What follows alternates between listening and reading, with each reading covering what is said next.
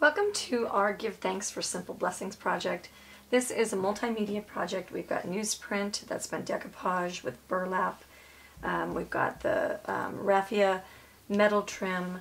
Um, we've got um, texture crackle. We've got image transfer, um, lettering, and um, a decorative crackle on top. This is a really multi-layered thing. It's just rich and beautiful and simple for the season. A lot of stuff to learn and um, I think you'll explore a lot of different mediums when you're watching, so enjoy. Okay, we're going to make this fun project. We're going to use some, some pretty simple wood overlays. We're going to glue them all together. Got a little leaf, extra piece. We're going to use a rope or wire up here, and we're just going to do a multi-dimensional um, or multimedia piece. So the very first thing that we'll do is we'll go ahead and seal our wood with DecoArt's multi-purpose sealer. Um, you can use this for all, all surfaces for a sealer. Okay, so we'll go ahead and we will just prep our surface, brush it on nice and thin, allow it to dry. Make sure you do the back side so you don't have warpage and it protects it from weather. So if you're going to hang this outside, then you'll be all ready to, you'll be all protected from all the elements. All right, I cut a piece of burlap the size of my base piece and I went ahead and ironed it. And where I had creases, I just used a wet paper towel and then just heated the, the water. And then you're just going to pull off these little um, threads on the side and that's going to give you a nice frayed edge. And you want to kind of sneak up on it and do them evenly so that you can kind of see where you're at. Don't do a whole bunch on one side and then um, it has a way of getting away from you. So just go ahead and fray kind of evenly. And we'll see where we get and then I'll trim the edges to, to make them less wonky like that. Okay, we're going to put an even coat of chalky paint Whisper, um, nope, Timeless. Um, this is the 8 ounce and then they got them now in the 2 ounce sizes, which is a little bit more convenient if you're used to them. But if you do a lot with them, it's good to have the big size. Okay, so we're just going to go ahead and get one coat on there, nice and even. Leave your edges brown if you want them that way. And so to leave them brown, what you'll do is you'll sweep away from you. Okay, and go ahead and let that dry. All right, we're going to take some texture crackle and we're going to mix it in with our timeless. And we're going to scrape some of this on the surface. You don't want to do more than about 20% of the color. You just want to tint it just a little bit. And then we're going to also tint some with Whisper, which is a lighter color. And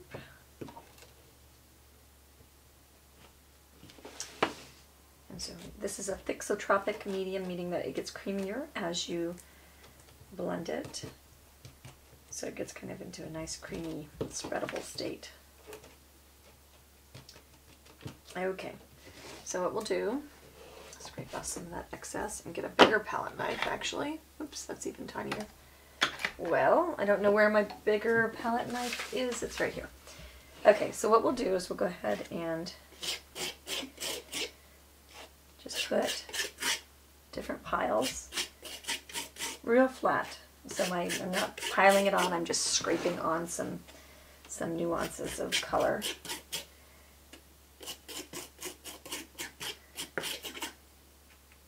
And you can scrape on some of your paint as well in between, just to give it kind of that stucco kind of look.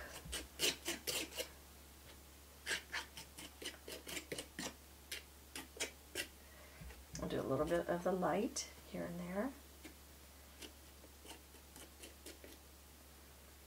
You can afford to go a little bit heavier with this than I usually do because I'm not going to be painting my leaf on this piece. I'm going to paint my leaf on the wood, the cut wood. So I can actually be a little bit kind of more chunky than usual. And the chunkier you go, the better your cracks will be. As long as you didn't put too much paint in it doesn't like to crackle if you have too much paint.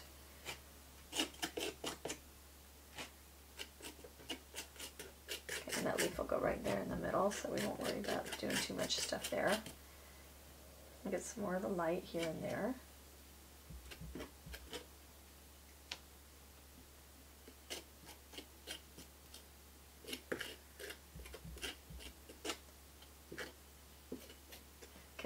and wipe off your palette knife and let that dry. Okay, while I was waiting for this to dry, I went ahead and basted my leaf with a mix of yellow ochre and antique gold. I'm going to go ahead and sand with a little sanding disc. These little discs are kind of cool because with just two discs, you can have um, the roughest grit sand, a lighter, and then there's a finer and another ultra fine. So you can have all of them in one, like, totally um, easy to hang on to little disc. So I'm just going to sand this, and then I'll wipe off all my dust. And I just want to take off the, the high points on this. Take DecoArt's Decoupage Medium, and it's a matte finish one. You want matte because we're going to paint on top of it. And I'm going to take a Fall Words image transfer. So that's been printed in reverse with a laser color printer, um, and everything that isn't white is going to come off onto my piece. And then all of the white will disappear. That's the paper. Um, printers don't actually print in white. So what we'll do is we'll go ahead and just kind of position it on there, maybe sort of in the middle. I don't think I want this too, too, too bold. Um, so what we'll do is we'll take our giant 4-inch Mod Podge brush, which allows us to get a nice even coat on things and move really nice and quickly. You want just enough of this medium, not too much, not too little. I want to see the white, but I don't want it gunky.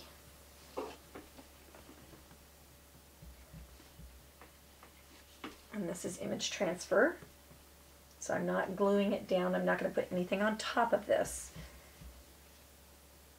I need a little bit more medium.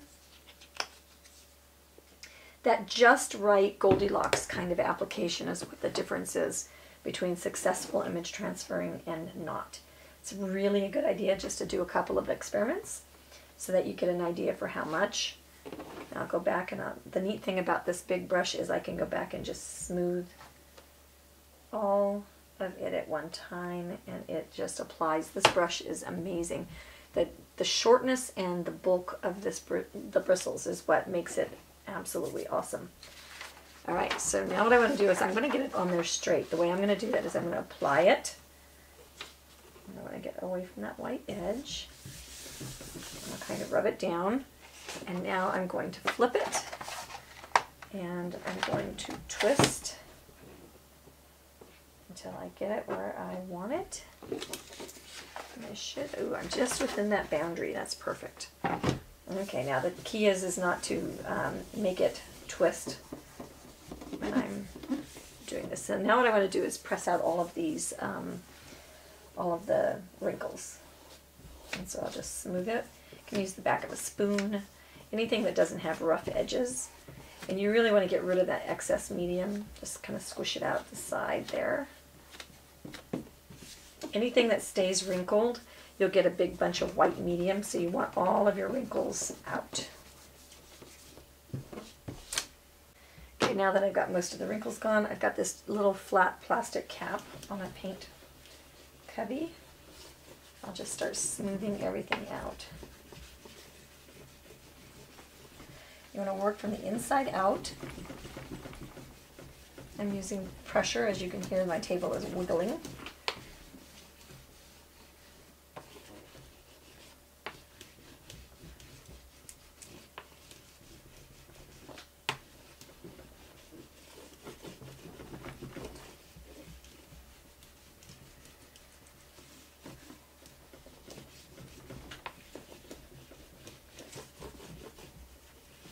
Okay, and now This under my blow dryer.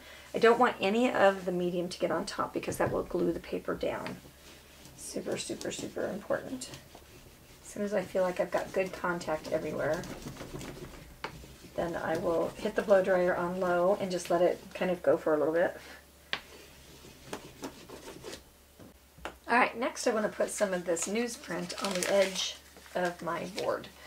So I'm going to use the same medium. I'm going to use the matte medium and I'm just going to apply just a little bit all the way to the edge. I want it to be all glued down so I'll scooch it in just a little bit. Alright, so I'll just get that on there pretty nice and straight. Okay, and then we'll do some more.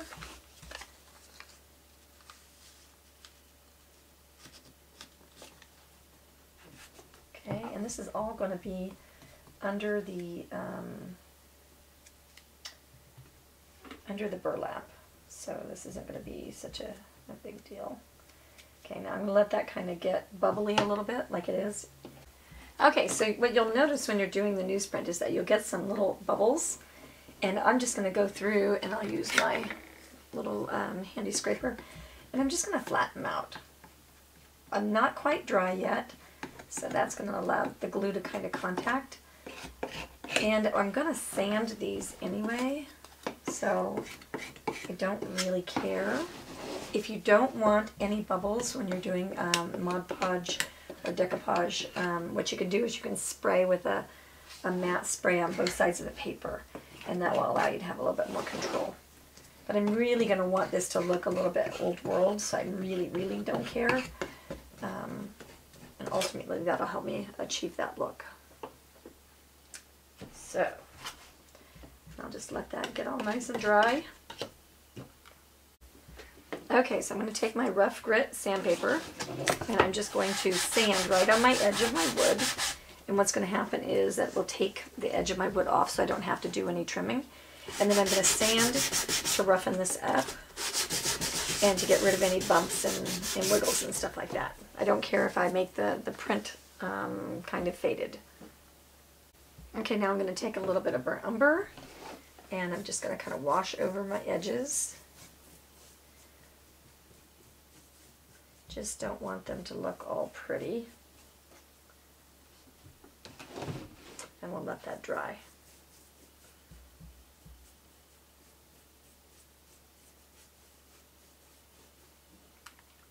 Okay, next we're going to peel off our image transfer paper. So we've got this paper face down. We're going to scratch through the back of the paper. This just helps the water absorb.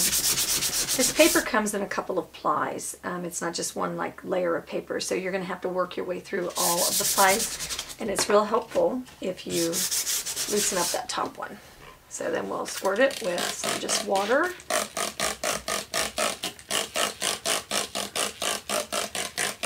See pretty soon I'll make an image and we're going to do quite a bit of water. Just let it sit on top of there. This is also where having your wood um, be sealed is going to be a, a positive thing. Okay, so I let it soak for a little while. Now what I'm going to do, pardon me, is just peel off what I can peel off. That just makes it much easier so you don't have to rub through all the layers. Now I did do a shortcut and you already can see that I've got a little bit of lifting. That is real common when you don't let it dry um, overnight. So you definitely want to make sure, oh that's really cool. The glue hardened and it made a little shelf and the, the images on the glue. That's really funny. Okay, so I'll just kind of rub off the big bulk of this. Let me get a paper towel. Okay, so I'll just paper towel grab just a little bit better. Start gently, especially if you didn't go overnight. I just blow dried mine for a long time, but I just blow dried. So see that little lifting right there? Go gently, and then once you get a layer of uh, paper off, then you can go and um, you can go blow dry some more if you've cheated and shortcutted.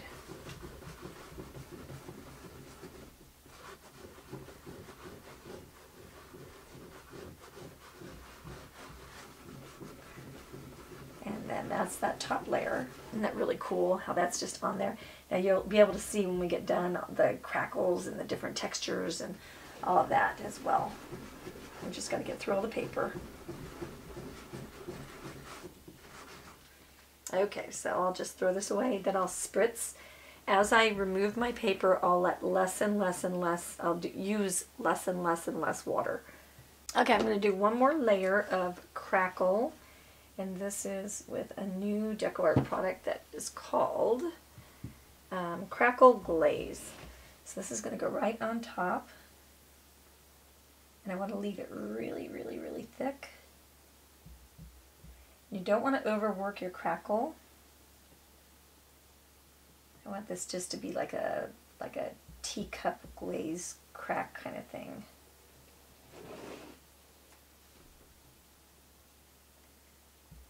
So I'm just really just picking it up and laying it down. I love to use crackle mediums. They're a good thing to experiment with, so don't feel like you've got to go ruin your project. You know, don't ever do this right over, you know, a seminar piece or something.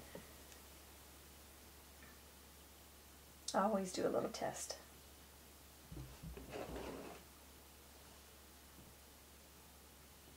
So now I've got crackle underneath, and I'm going to have crackle on top. It's kind of exciting. I don't think you can ever have enough depth in projects. And the crackle mediums allow a lot of depth.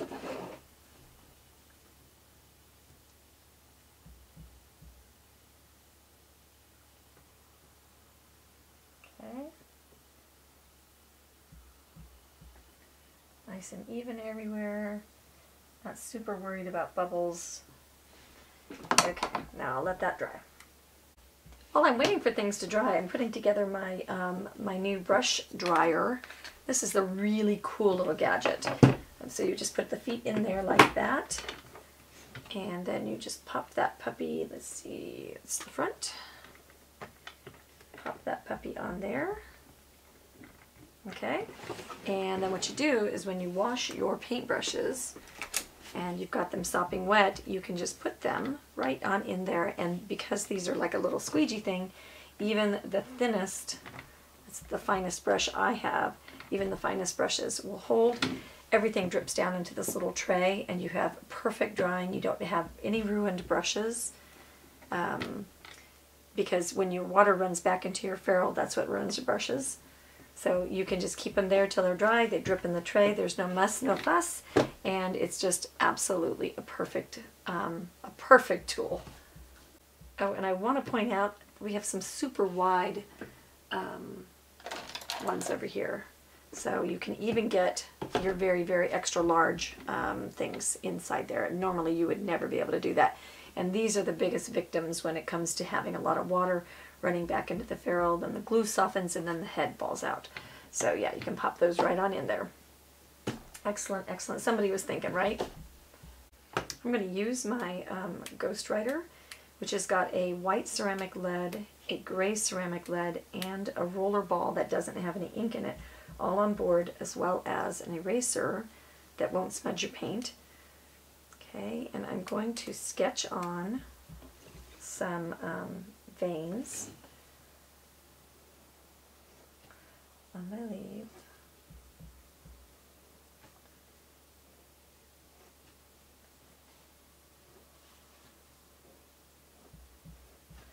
Okay, now I'm going to use a little bit of texture glass. And it's not going to make a very, very fine line. I just kind of want it sitting on the top. What this is going to do is give us a little three-dimensional effect after we paint the leaf. So I'm just kind of picking it up and laying it on there. Do you want it a little prettier than that? Texture glass dries perfectly clear.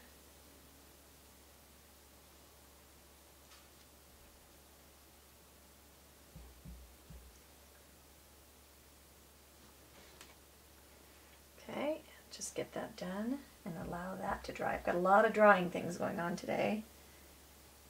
Really like the, the layered effect of multimedia projects though.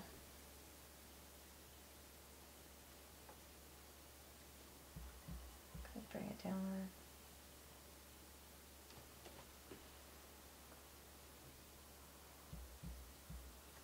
Okay, I'll let that dry.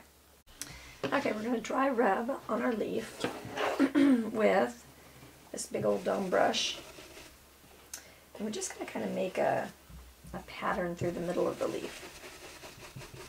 Dry rubbing, you want to rub off all the extra excess paint on your brush.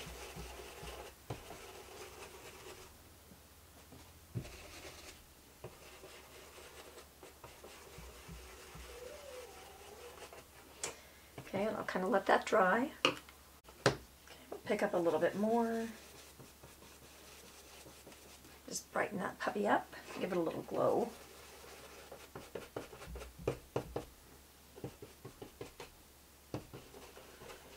Carry it over. Okay, and then we'll start working on some of the other colors. So we'll go into the olive green. Okay, we'll do just a little bit here and there. This color will be kind of bigger than the other colors because then we'll, what we'll do is we'll get gradually darker green. So we'll do a receding kind of color. Do it in different places. Definitely want that to fade out though. Go into another brush. Start building on our orangey colors with peaches and cream first. So there's two ways that you can do this. You can start with your dark and kind of work its way out or start with the light and then get darker gradually. Either is acceptable.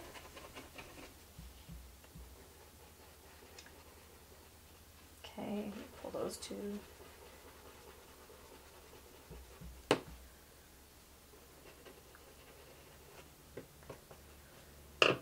Then the green is dry, so now we'll go into Hauser Dark. And we'll get out there on the outer edge, and maybe a little more Hauser Dark.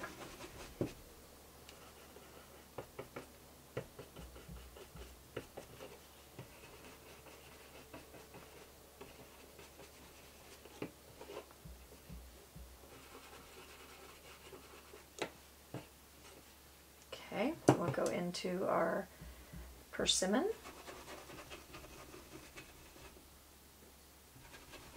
And we'll fold back over. These are labor, um, paper towel intensive um, techniques here. So now you see we're getting that nice fall leaf look. In the meantime, I've been checking on my crackle medium and that's looking real good too. I think I'll switch to a little bit smaller dome brush for my evergreen color.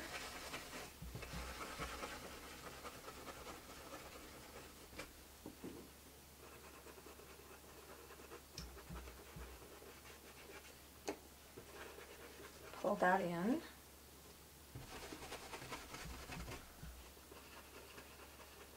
You can use this um, technique for leaves on just any any leaf, uh, cut out or not cut out. Um, just makes a really nice little universal leaf technique. Okay, that one had the, um, the green on it, so I want to go back into my yellow and brighten that up.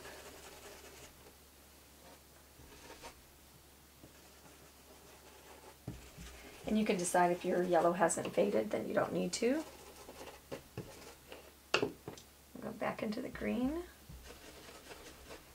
and really just kind of kick kick those edges nice and deep.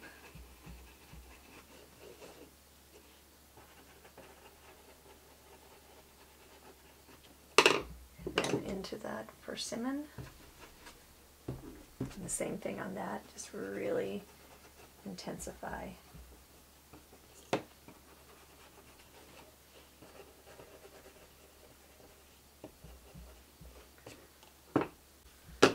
So now we're going to take our Q-tips, which are super sharp, pointy, and very, very hard um, cotton swabs, and I'm going to just spit on it, and I'm going to peel off the paint, and that will come out clear and give it that kind of, um, it'll have the, the color from beneath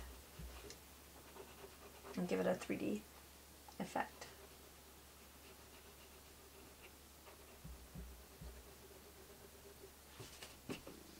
Okay, so here's where my crackle is at. Can you see it? See the really big stuff down here? That's really cool. I've got a little bit where I got a little bit fine. You got to make sure if you want evenness that you um, take care of that by paying attention to it. I'm, I'm going to let this dry. I did go ahead and blow dry it and it worked perfectly. So, and I even did it on high. Okay, so I'm going to finish drying. I, I suspect this is still wet over here. Finish drying it and then I'll antique it. In the meantime, I want to go ahead and use the um, chalky cream wax to antique the edge of my board here. So I'm just going to do it like you're shining shoes. Just put it a little bit on the edge of my cloth. And just antique all the way around the edges. Well, I'm not liking how my, my veins came out, so I'm just going to go ahead and put some green faded veins. Real washy. So that idea it was not such a great idea.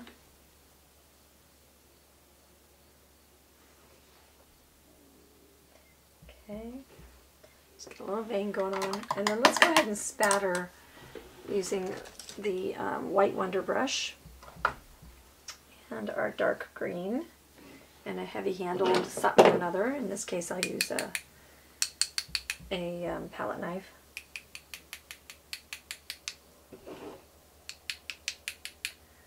And then we'll go ahead and spatter with the persimmon.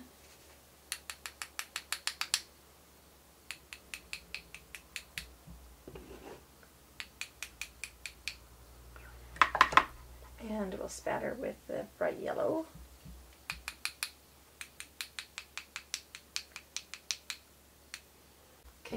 Meantime I've sprayed my center surface with this um, tacky spray and then I'm going to position my burlap. This is going to be fairly instant contact permanent so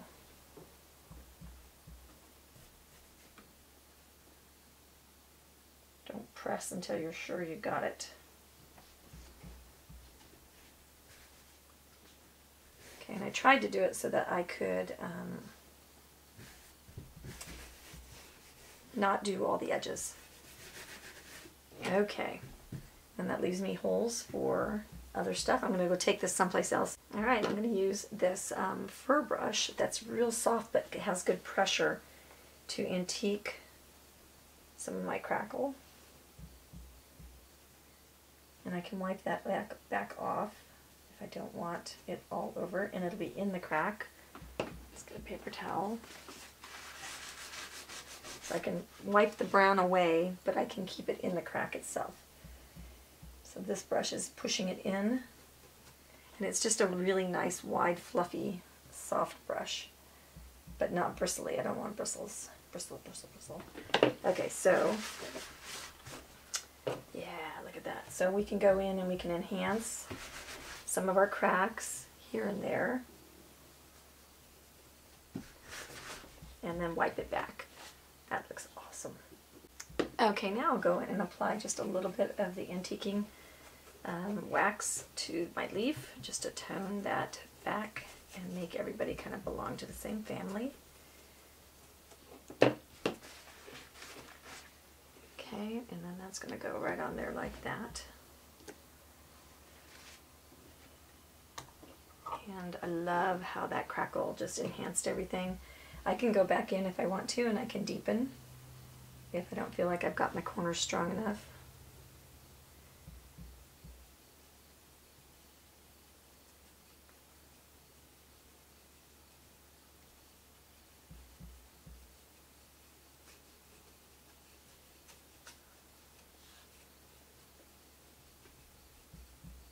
Okay, so see how that's just framing everything.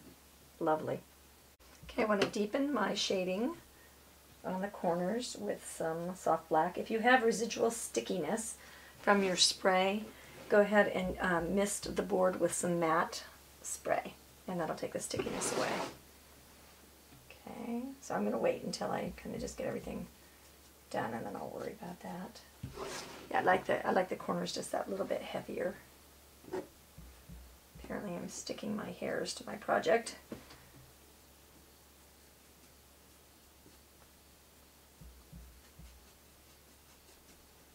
Okay, and we put our board on top. I got our leaf on there, and that's starting to look kind of cute. And we'll go into our corners and just deepen those as well to lift that away. Oops, go the other way. Just really helps. That's a little bit much. I'll back it off with a brush. And just maybe rub that away. If somebody's not floating at all, I'm just base coating.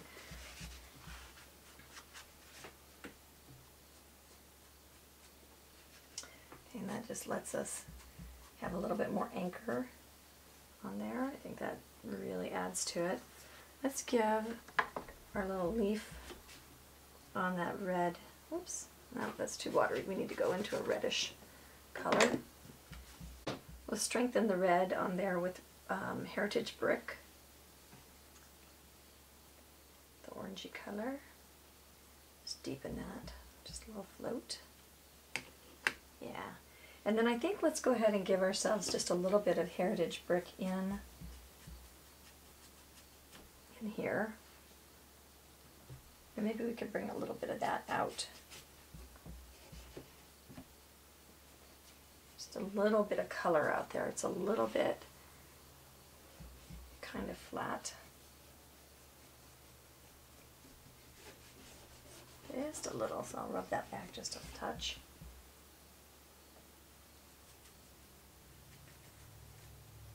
Okay, now let's see what that looks like. Oops.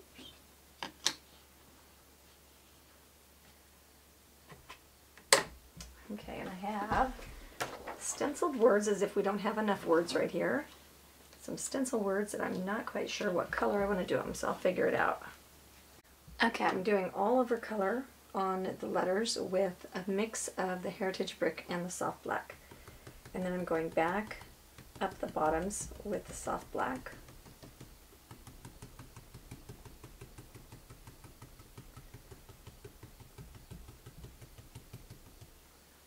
I'll switch brushes and go Heritage Brick on the top. Kind of draw that down.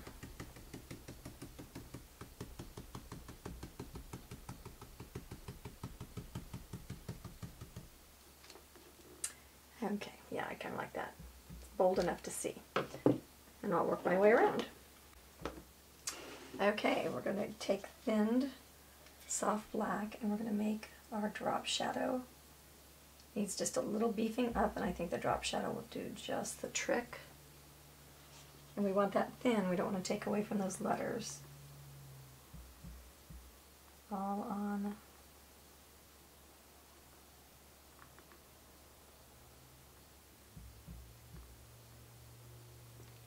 yeah, that adds just that little bit of bulk.